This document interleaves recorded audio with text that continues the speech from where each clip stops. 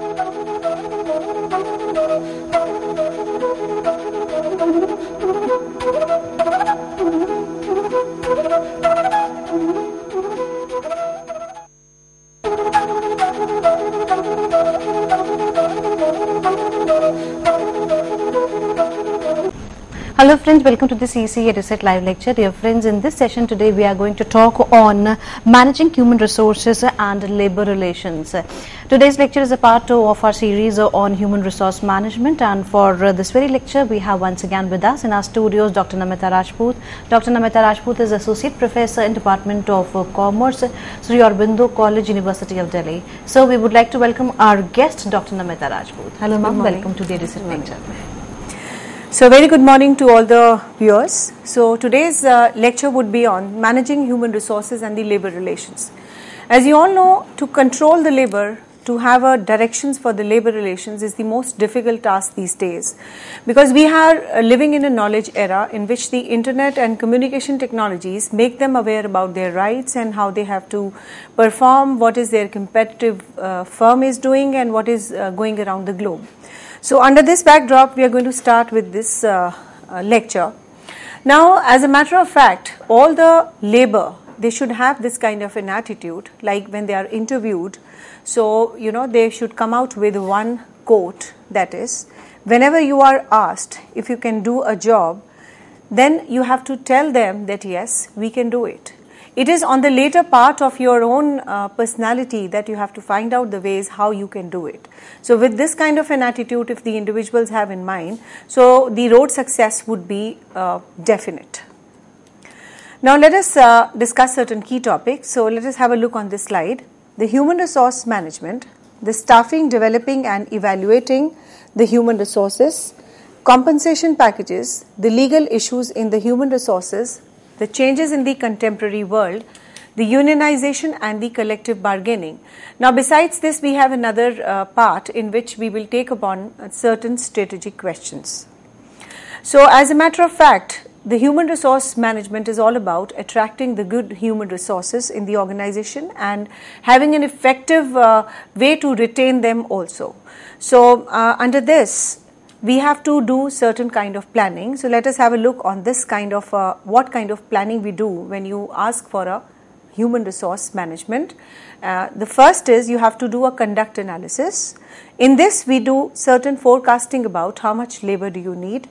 And then, of course, there are two types of forecasting which you do that is, what are your internal uh, supply of the labor and what is the external supply of the labor.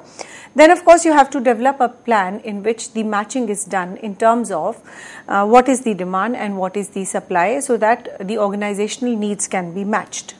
So, this is the human resource planning process. So, all these things have to be clubbed together in order to find out that this is the right number of the people which we need in an organization.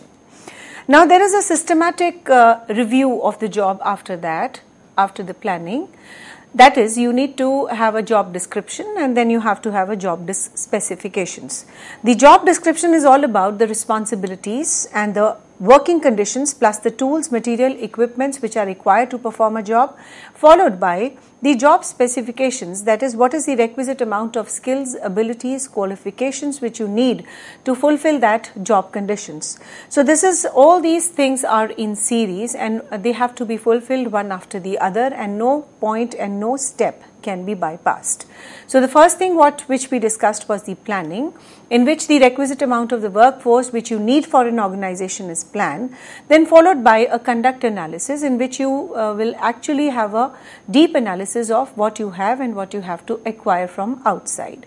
So this is the final plan which you have in mind that this is the number right number of the people which we need for the organization. Now, after you have the right number of the people which you have to recruit for the organization, the next aspect is the job description and the job analysis.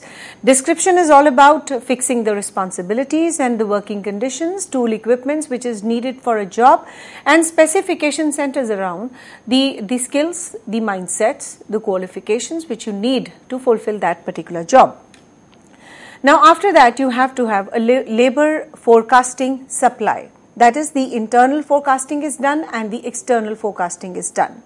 Now, when you're forecasting the labor supply in an organization, the internal forecasting is all about the replacement charts and the skill inventories. Now, the replacement charts is very important because there are certain workforce which are not uh, proving to be a uh, asset for the organization. So, you need those people to be replaced. For this, you, you need to have a replacement chart. And in this, you will do a conduct analysis and a deep analysis of how they are performing in the organization. And of course, then you have a skill inventories in front of you. The skill inventories is all about that is what is the amount of uh, qualifications which we have, how many people with we have, what is the qualifications do they have so that we can do a proper matching for what we have and what we need to acquire from outside. Because sometimes you have a good labor force with you which is having a requisite amount of qualifications with them. So if we upgrade them or if we, if we give them some kind of a training and development your needs can be satisfied. Whereas the lower people can be recruited from the outside world so this is what a very strategic and important decisions which the uh, human resource department has to take. Now we have the external forecasting which is very very important uh, for a right amount of people which we need for the organization. In this we have to see the government reports, the information, uh, the, the employment commission data with you so that you have a right amount of uh, projections in front of you. Now, after that, if you are having some kind of a projected shortfall in terms of the number of people, then of course you will have to recruit them. Then uh, maybe you hire certain new employees. You have to hire certain temporary workers.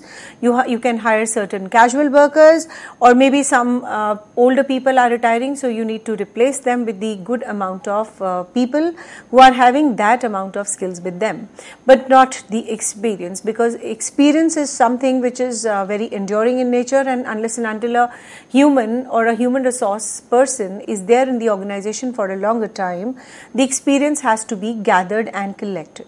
So you have to take a very important and a strategic decisions which is definitely a projection of your previous work and if the previous work or the previous steps are not in a right direction then of course uh, it will be very difficult for you to find out what is the right number in front of you. So this has to be a very uh, creative solution, a very innovative solution and the projected shortfalls have to be rightly projected. Now when you are having a shortfall, so let us have a look on this. We have to recruit the people. So recruitment is basically about attracting the qualified candidates to apply for a job. That is, you are uh, asking for a good and the prospective employees to come and join in the organization. So, uh, sometimes we are having an internal recruitment and sometimes we have the external recruitment. Internal recruitment is all about uh, considering the current employees for the new positions, whereas the external recruitment is about attracting from the outside sources that this is the uh, number of people which we need from the outside world. So, when you are doing this kind of analysis, you have to uh, find out that this is our internal strength if you have the good number of people with you, and this is our external weakness. Now, how you have to select the human resources is all about validity. Now, the predictive value of a selection technique is very, very important. So, when you uh, do a selection of, of, an employee, you need to have the application blanks in which all the information will be filled by the candidate, followed by certain number of tests which have to be conducted by the employer, so that you understand that what is the position of the employees in terms of their intellectual capabilities, in terms of their aptitude skills, in terms of their situational aspects, etc. So then after clearing of the written test, then there is a one-to-one interaction which is called as an interview.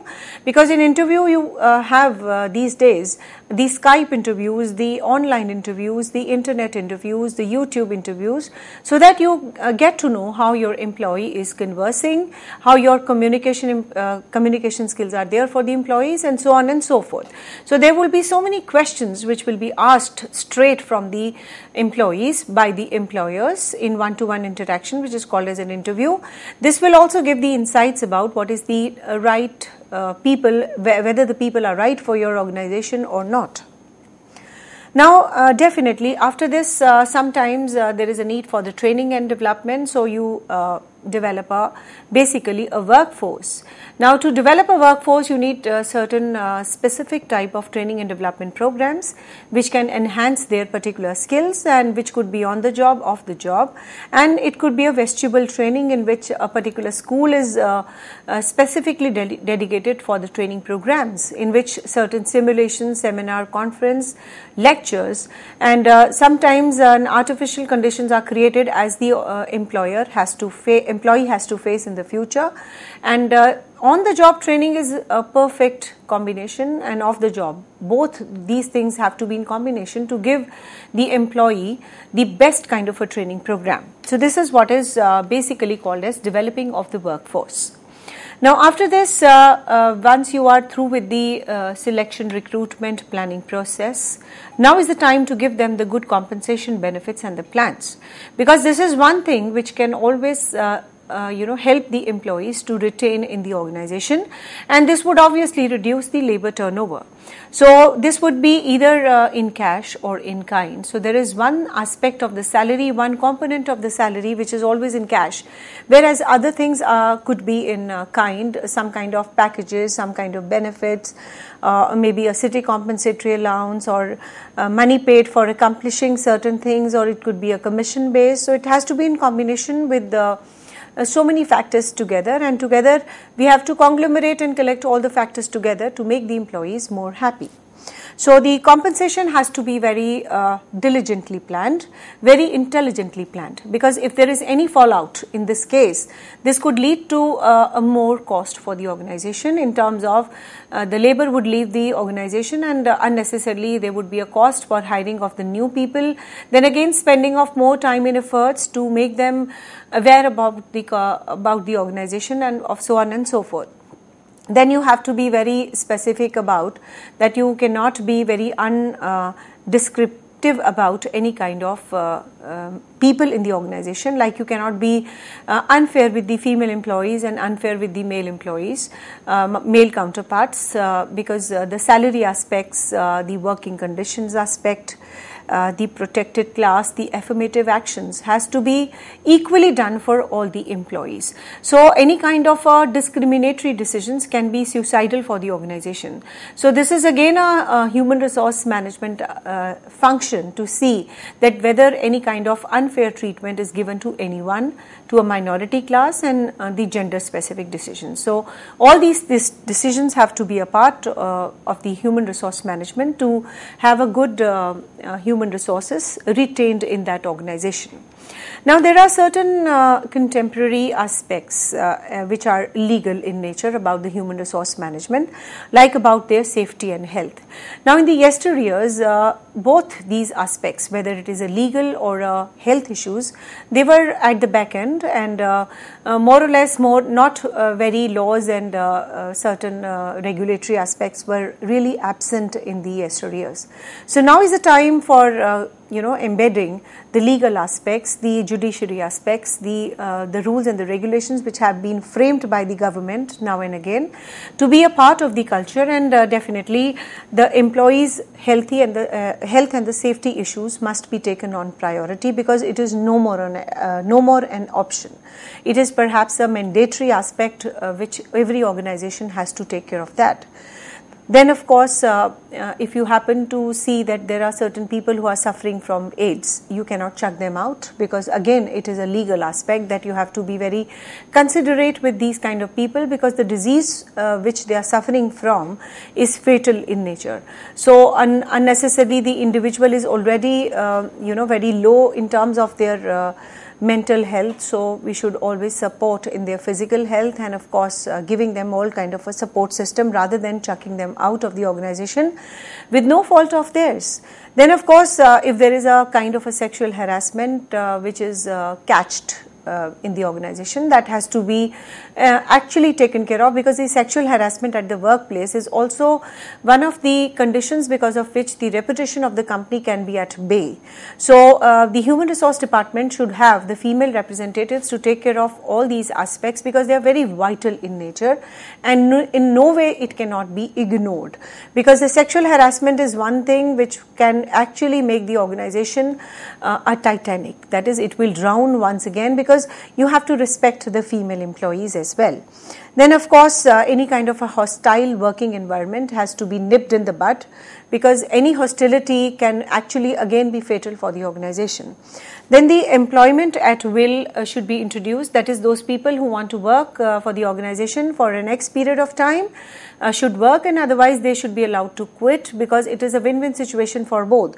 Because now the organization uh, does not want that employee, so happily uh, it can give a farewell to that employee, and an employee also must not tag itself with any kind of a bad character certificate from the employer. So employment at will must be introduced. Then, of course, uh, managing of diversity is another issue because diversity, when you talk about these days, is uh, at the top because uh, we have diversity at race, color, creed, religion, gender, then generational diversity. So all these diversities, uh, they you know put a very kind of a vital challenge for the human resource managers, which are the millennium managers of today, and of course they they have to come out with a good consensus and a good decision making, so that all these things can be balanced out very easily because any diversity at any level if ignored can also be uh, proved to be a very bad factor for the organization not a feel good factor for the organization. Now uh, when you're talking about the managing the knowledge workers the knowledge workers add value because what they know uh, is uh, very very important. So mu- we must value the knowledge workers and we should always take care about their every aspect every need uh, for the organization. And they should also not be unfair at that their part. Then we have uh, to plan about the contingent workers. This is also posing a lot of challenge for them. A rapidly growing challenge is a contingent workers. Management challenges are there. So the first is the management challenge. We talk about the careful planning. The careful planning is very, very important these days because any lapse in terms of the planning can also be uh, put a great cost and a big cost for the organization then you have to understand the the understanding of the pros and cons of uh, each and every aspect issue which is connected to that. You have to assess the true cost and finally and eventually you have to develop a very good strategy for the organization uh, which is again uh, proving to be most efficient and the less cost effective uh, i mean less cost uh, bearing for the organization. Now you have to manage the organized labor now, this is one factor which needs uh, a lot of explanation. Now, we have a labor unions who are uh, working for the cause of the labor. So, people working together to achieve the shared jobs uh, related goals. So, they talk about the wages, they talk about the not fair wages, they have to talk about the strikes, and the labor relations is about managing the unionized employees.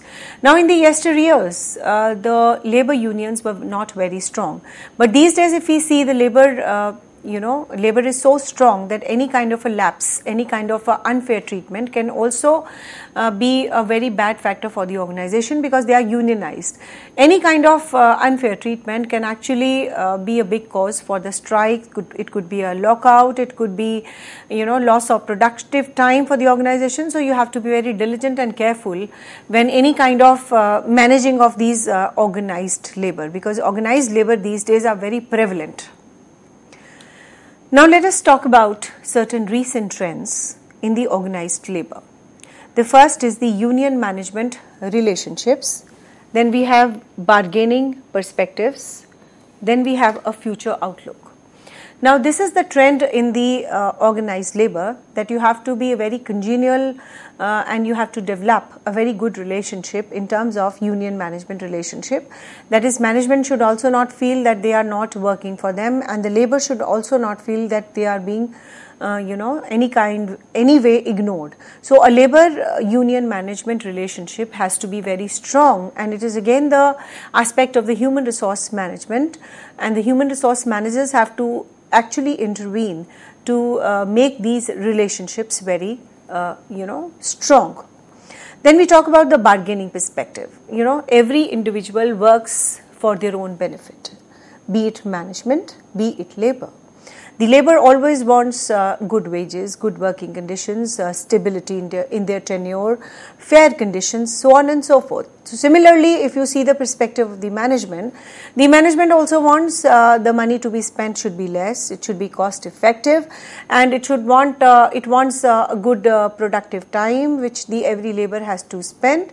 So, everyone works in their mind for their own benefits and own uh, you know relationships so some kind of a bargaining trade off has to be done like what the labor wants and what the management wants. There has to be some midway and a consensus built up so that everyone is reasonably happy then we have a future outlook. The future outlook should always be uh, considerate in terms of the the knowledge workers, the modern workers, because they are so strong that if you kick them out, they have immense opportunities, and it would be again a cost for the organization.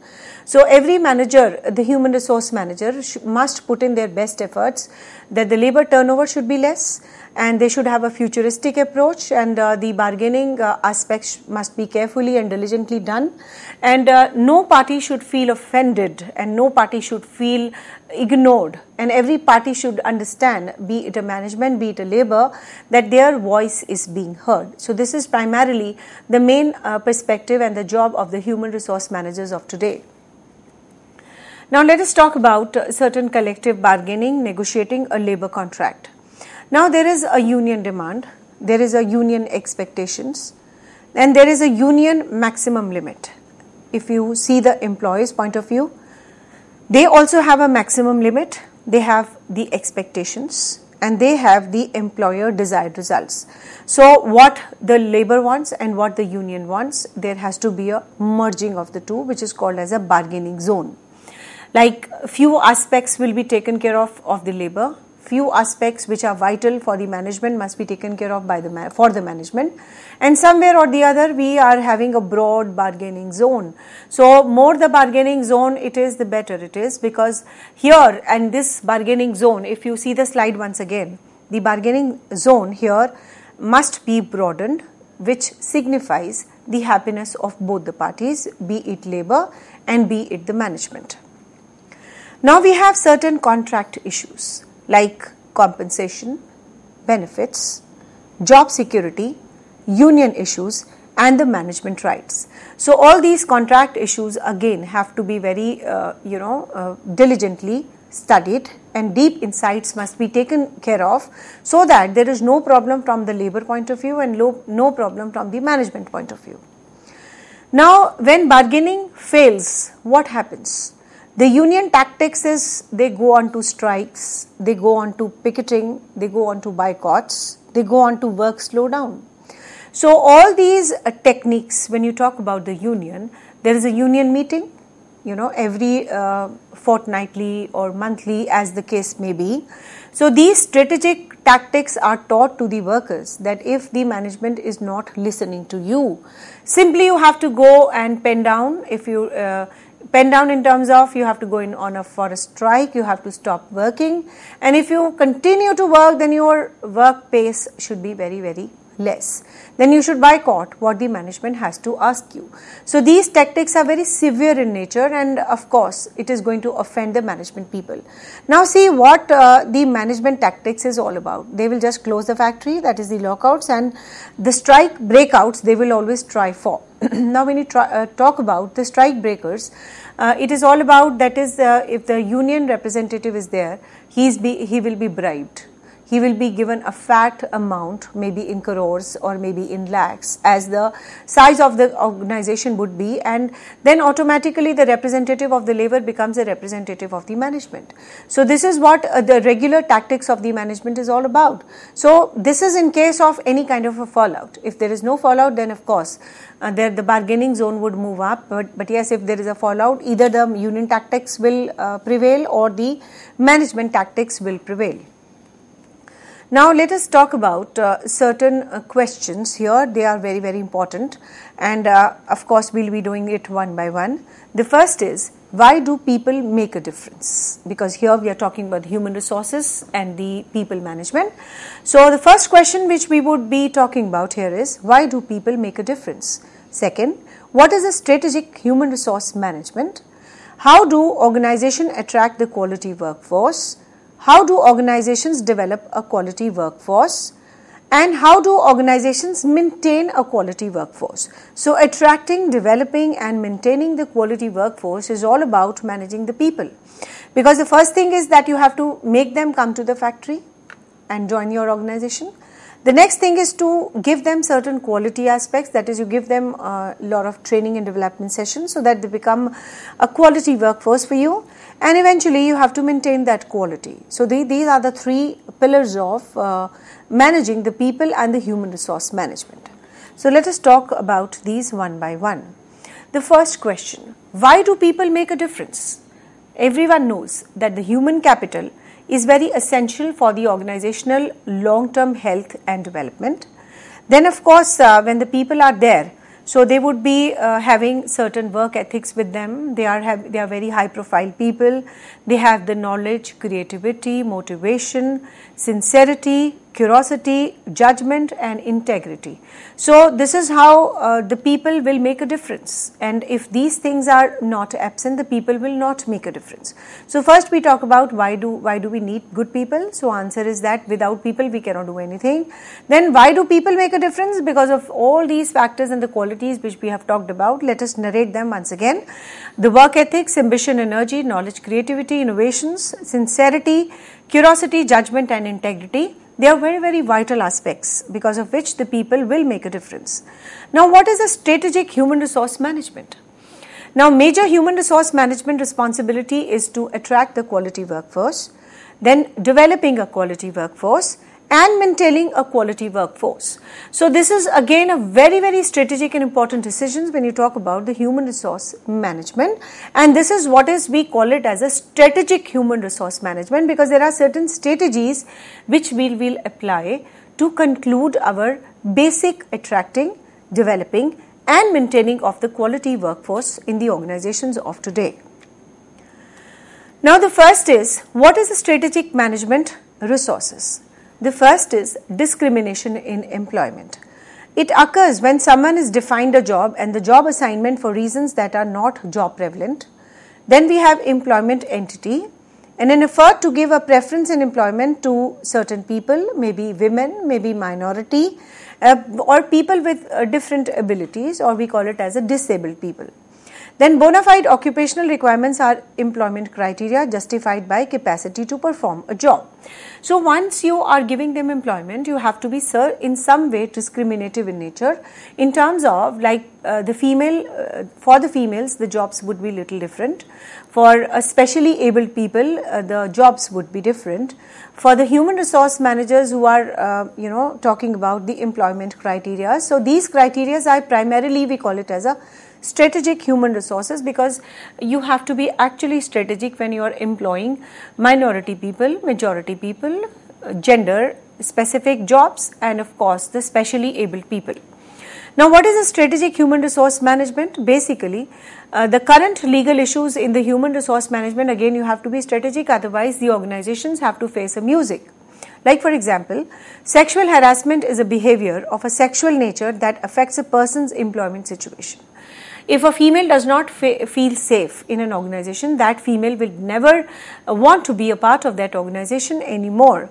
Then, of course, the, uh, the different rules, uh, different code of conducts uh, relating to the uh, the sexual harassment uh, of the people at the workflows have been announced. So, those have to be actually fulfilled and completely be a part. Otherwise, the people will always be inhibited and they will be discouraged to join a particular organization. Then, of course, certain uh, landmarks, certain part time workers, independent workers. So, different rules are there to attract different kind of people. Now, how do organizations attract a quality workforce? So, this is the first aspect of the strategic human resource management. The first thing is that you have to attract them. How do you attract them? That is, uh, human resource planning analyzes and organization HR needs and how to best fill them. The first thing is that you have to have uh, how many people you need them and of course which people will suit and how will you fill that particular job. So you have to review the organizational mission, objectives and strategies. You have to review the HR objectives and strategies. Then of course you have to forecast the HR needs and you have to develop the and implementation of the HR needs.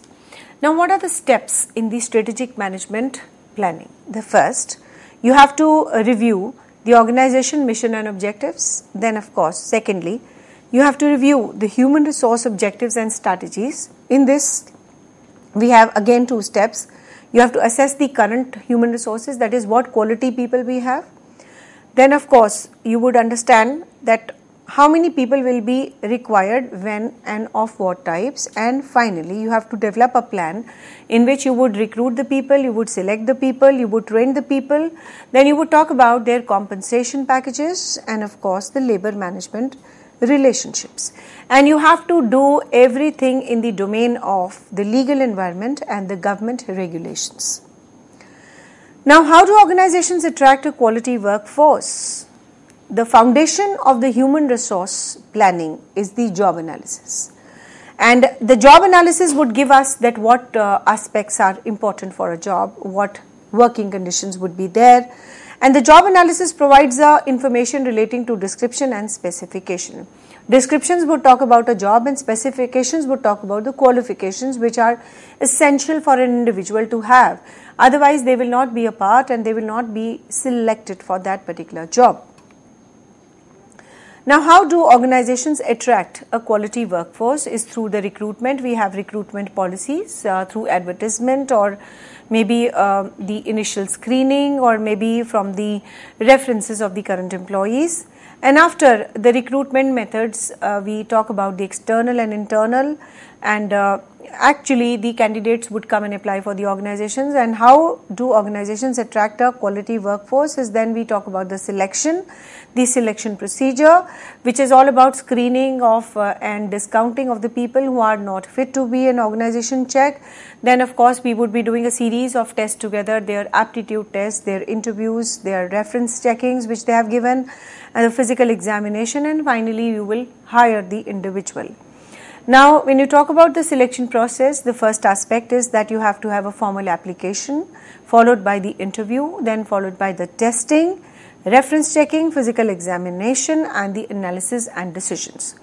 So, if the person is not selected, you have to specify what reasons are there to be excluding from the workforce. Then, of course, uh, all these steps have to be taken care of very nicely. Only then the criteria of the selection would be fair because now we are living in a world of knowledge and we have a right to information act which has actually made the people empowered that give us the reasons that for what reasons uh, this individual was selected and give us the reasons for why this individual was not selected. So, you have to be very specific about uh, all these aspects. Then we talk about uh, you know the quality workforce. You have to develop the social orientation of these people then um, you have to develop them by a set of training programs which are very important. Uh, then you do the performance appraisal that yes after giving uh, the pre and the post scenario uh, of I mean what kind of benefits have been derived. Then you talk about uh, certain uh, techniques in which we can improve the quality aspects of the workforce. Uh, you can either check their behaviorally anchored techniques or you can take their you know conditions on the graphic scales and uh, of course then we have behaviorally anchored rating scales. All these scales would help us in uh, and giving a deep analysis of these kind of people or you can give them certain critical incidents and you can ask them to give their opinions about it. And if you are very happy with the opinions then of course you would rate that this individual is a good person. The analysis results would be good. Then of course uh, uh, the uh, the analysis and the appraisal could be from the peer group also for the from the other aspects of the uh, organization also so that whatever consensus and the report which you develop for the people is a comprehensive and a good and a right report. Because uh, this would mark their career planning and this would mark their career development in the future activities. Then you have to see their life uh, balance also work life balance also. Then how do uh, people maintain uh, the quality workforce is when you talk about maintaining them, you talk about the money aspects. They are very crucial for the people, uh, for an organization to be stayed in that organization. I mean, eh, when you talk about uh, the uh, the uh, maintenance of the quality workforce, we talk about the fringe benefits, the flexible benefits, the compensation benefits, then of course uh, if all these benefits are uh, endorsed to them time and again they would never leave that organization and would always be a part of that organization and the labor turnover aspects would be lower in that case. And the labor management relationship would also be strengthened because here everyone everyone is working for money then you have to maintain the quality of the workforce. Is all about that you have to nip out all the reasons uh, for which there can be a strike and there could be a picketing or a boycott.